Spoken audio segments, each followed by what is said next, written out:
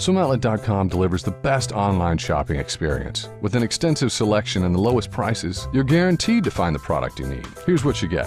Free shipping on all orders over $49. Free one to two day shipping on all orders over $99. All orders placed by 6 p.m. ship out the same day. Shop at swimoutlet.com, the web's most popular swim shop.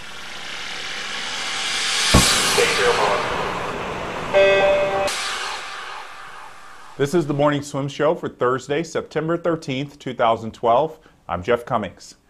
Last week in Northern California, I attended the RCP Tiburon Sprint Classic, a special event founded by Bob Placak and held in the backyard of swimming philanthropist Tod Spieker.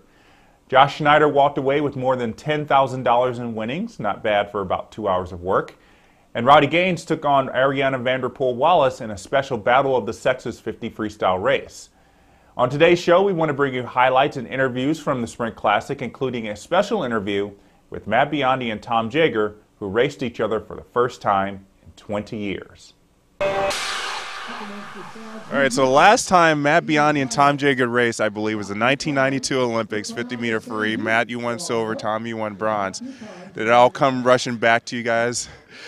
No, but I think uh, you know it's neat, right? It's neat to be I guess acknowledge. You know, I mean, it's we all have egos, so it's nice for people to clap for us again. So that's cool. Matt, you, you probably haven't swum much since then. What's it What's it feel like to be uh, moving those arms and legs through the water again? Well, I still enjoy swimming. Um, just don't enjoy racing so much anymore. Um, being in the water is a really important part of my um, mental health, physical health, and I still swim on a regular basis every couple days, a week anyway. Um, but racing, I, I could do without this. We decided to do it one time for charity and good chance to see my buddy Tom and some other good friends. So um, I don't expect to make it again for another 20 years.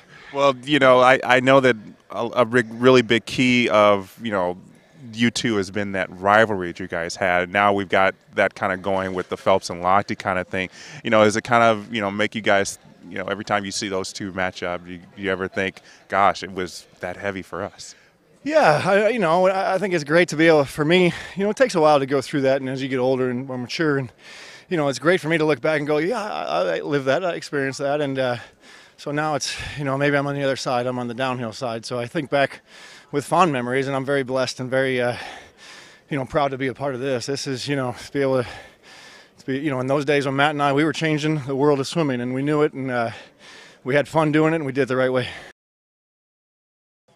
All right, so I've got the Bobby Riggs and Billie Jean King of swimming here. I'm here on Vanderpool Wallace and Rowdy Gaines. Rowdy, you won 21.98. Were you nervous about racing up against uh, someone who just swam the Olympic final of the 50? I was. In fact, you know, coming in, I knew all the women were going to be really good. But you got to have a little bit of that momentum coming off that final of the Olympic 50, a little bit of that competitive edge still in you.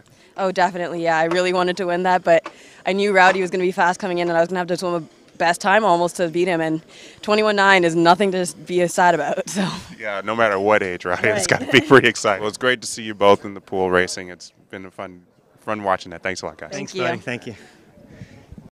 All right, I'm here with the winner of the $10,000 Sprint Classic, defending your title, Josh Schneider. Yes, sir. Obviously, like most swimmers in the United States, you're a struggling professional swimmer, so I'm sure that money's going to come in handy. Oh, that money comes in handy big time. Uh, but like money ain't everything. I've, I've, I've learned that, and I really think that um, you know hurt me ultimately um, this year and last year.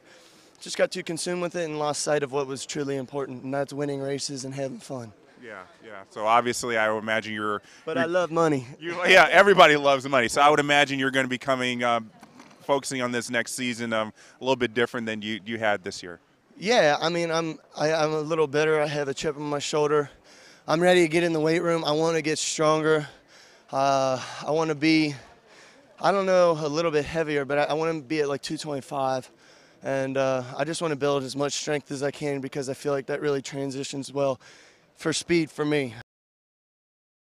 I'm here with the namesake and the founder of not just the RCP Tiburon Sprint Classic, but the famous RCP Tiburon Mile, Bob Placak. Bob, this was the second year of the Sprint Classic. Uh, how is it better improved from 2010? I think it's better improved because you had three different sets or waves of athletes competing. You had not only the guys, top eight guys in the world, you had the battle of sexes with Rowdy, and then you had the, the legends with Jagger, I think Jager and Biondi. So I think there was something for everyone there. When did you start thinking that you wanted to get people like Biondi and Jager involved? Well, you know, I, I actually talked to Kara Lynn Joyce about two years ago, and she came up to me and said, Hey, Bob, you've got all these men racing. What about the women? And I, I started thinking about it. I said, Listen, hold that thought. Let me see if I can put that together. And then I saw Rowdy. I thought, Well, what about a battle of the sexes thing? If Rowdy would be interested, that would be interesting. And when Rowdy said yes, he says, Look, whatever you do, Bob, whoever you get, I'm up for it. And then Kara Lynn said, I'm into it. And then I thought, Let's get a few more gals. So those steps came together, and then I thought, boy, you know, I've got the young blood in here. I've got a little bit of uh, uh, history here with Rowdy Gaines. Let's talk to Biondi and Jagger. And I'd had some conversations with uh, Tom Jagger on the phone, and I kind of floated the question. He says, "We'll see what Matt thinks. If Matt's up for it, I'm up for it." And so we went back and forth a little bit, and it kind of played out from there. Very nice. So this all started two years ago. So if you got any ideas about what you're going to do for the next one to improve on it? Well, I'll tell you, I think we're going to kind of let this one settle in a little bit. I'm really pleased the way that this improved over the last one we put together. The, the first event was in 2010, and what I really liked about this, the weather was spectacular today. We had just a nice crew of people working together. I think we improved in a lot of different ways here. The pool was beautiful, the setting was gorgeous. So I'm looking for uh, new ideas, ways to make it interesting, and to really create something special in boutique swimming. Yeah, and you know, the Tiburon Mile has been kind of a, a well known event for open water swimmers to come and race and win a little bit of money, and now you're getting it into involved in the pool. How can swimming in the United States, because it's kind of popular in Europe. How can swimmers, swimming, USA Swimming maybe in particular, kind of grow and involve something like this to keep professional swimmers motivated and involved? I, I think the creativity that comes out is by talking to the athletes themselves and trying to get some ideas. I mean, I took uh, the next step from an idea that actually already been created about 25 years ago when Biondi and Jagger used to race against each other. So I just took that to a different level, and I think that's kind of the way things are in business and in life. Someone comes up with a good idea, and someone says, "I think I can improve upon that," and so on and so on. So I, I'm I'm pleased that they created that idea to begin with, and I'm just happy to take it to the next level. And I'm hoping someone else will step out there and say, "I've got a better idea as well," and I be willing to help them in any way they can do that. Yeah, I'm sure they're going to be giving you a call pretty soon, Bob. Thanks so much for uh, another great year with the Sprint Classic, and we look forward to seeing how the Milers uh, do tomorrow. Thank you, Jeff. It was a pleasure. Thank you for being here in swimming world. You guys are just, uh, you guys are the best. Thank you. Our pleasure. Thank you.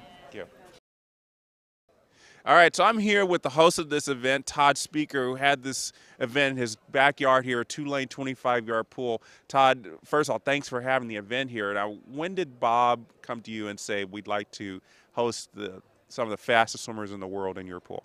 Bob and I go back a long way. We're both members of the Olympic Club as, as master swimmers, and uh, we just discussed it. It was it was a joint effort, really, but Bob did all the work and deserves the credit. I provided, uh, my wife and I provided the venue, and uh, uh, I just thought it'd be kind of a kick in the seat of the pants.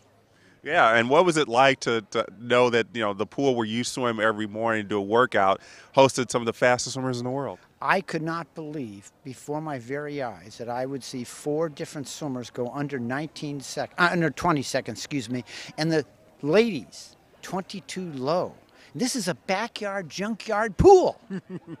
Not too junkyard, Tod. I mean, it looks pretty good. I think the everybody was okay with. Nobody had any complaints. Uh, but you know, I equate a backyard pool to home movies. They always screw up, and this went without a hitch. We did forget the whistle or somebody did, and it reminded me of the 1892 big game when Herbert Hoover, a subsequent president, forgot to bring the football for the game. So they had to go back over to Berkeley and get the football to play, it in San Francisco. Well, I think we did okay without the whistle. Nobody was really complaining. No, they, they, they got it. They, they, they winged it pretty nicely. So, you know, this a very beautiful home, and, and we're going to show people some, some footage of it. You know, what is it? Obviously, you and your wife do very well. What does it feel for you to be able to give back to the sport in the ways that you have? I'm paying back. You must pay debts. People lent me the time uh, to get me into, get me good education, taught me about life, and I'm just giving back. That's all. And uh, I, I still owe them more than they owe me. Well, I think you. I think your debts are being pretty well paid, Tod. no, I tell you, no, but it's it's people. It's it's a great sport. It uh, compared to football and uh, basketball and baseball, they don't get the notoriety because uh, you can't get fifty thousand a game. Right. Uh, but um, it's it's been it's it's it's made me what I am today. The sport of swimming. Well, swimming thanks you. Everybody here today thanks you, and I thank you for joining us today. And that's uh, what a great uh, philanthropist of the sport, Tod Spieker. Jeff, thank you very much. We have all the races and many more interviews for you to watch on swimmingworld.tv. Just click on the Events tab and select the RCP Sprint Classic logo. That's going to do it for today's show. We'll be back tomorrow with another interview from the ASCA World Clinic featuring Olympian Andrew Lauterstein. I'm Jeff Commings. Thanks for watching.